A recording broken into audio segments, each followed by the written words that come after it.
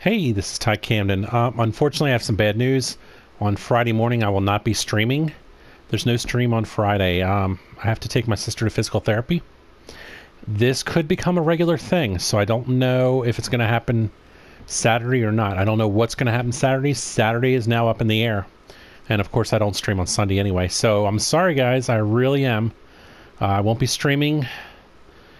I don't know into the near future because I'll probably have to take her to physical therapy again Monday.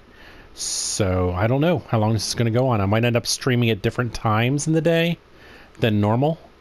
But uh, until I know more, I'm just going to give you daily updates.